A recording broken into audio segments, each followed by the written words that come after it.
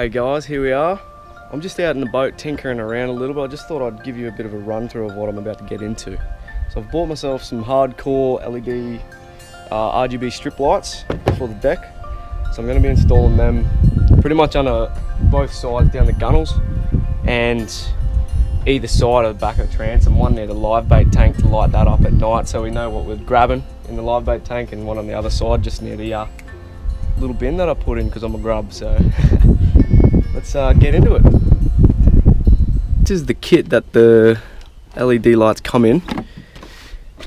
Open it up, we got our user guide, blah blah blah, words and such. Little diagram of what it comes with. Um, just disregard that really, you don't really need that too much unless you're uh, doing it on your own. Let's get all this junk out of the way, hey? There's our light strips, 10 of each, uh, 10 all up, sorry. Get this all out of the box, eh? So this is all we're going to need for now. So we got the box. This is what your remote tells the lights to do, basically. You power in, power to your lights. What you're going to want to do is grab this little cigarette socket side and this is the one you're going to want to chop. So you want to going to get rid of these little terminal clamps and you're going to put your connectors onto these two.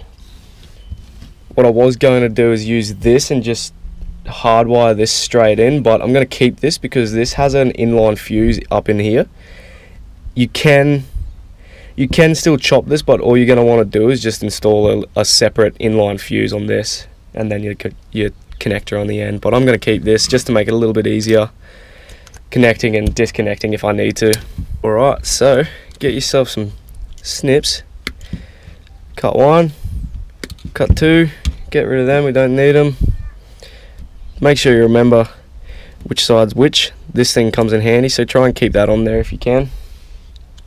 Get your uh, strippers. Strippy.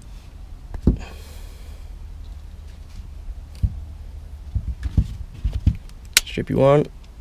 Strippy two. Just like that. So you're going to want to get your heat shrink on there first before you put any of your connectors on. What I'm using today are these two little guys. This one's just for my earth, just to go onto one of the bolts that's on the hull at the moment. And a little connector to go on the back of my switch. So get that one on there. Get your crimpers.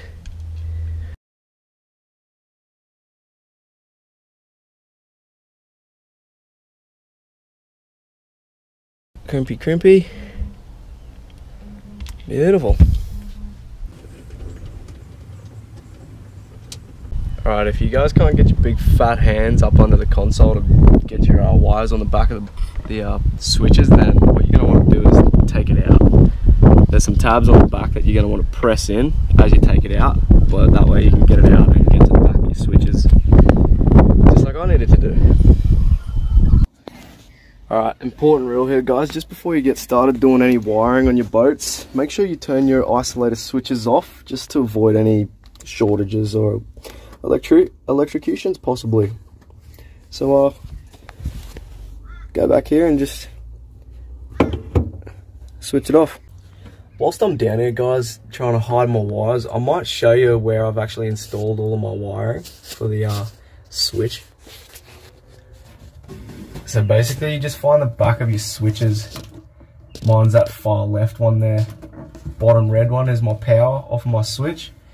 And then the negative wire, there's actually a little, like a bus board just up there. So that bottom negative is where I ran the negative wire. Alrighty, so we've got that main cigarette socket wired into the back of the switch and earthed.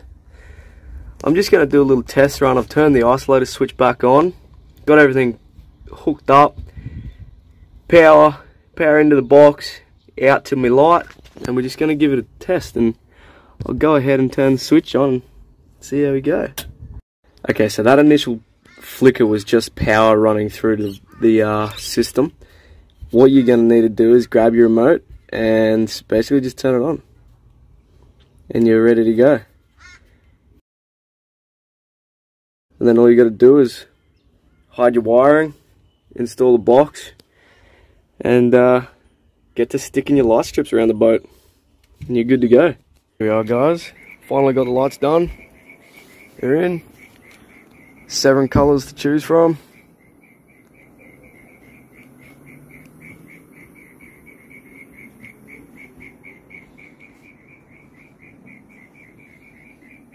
My favourite part is the live well. Beauty, look at that, lit up.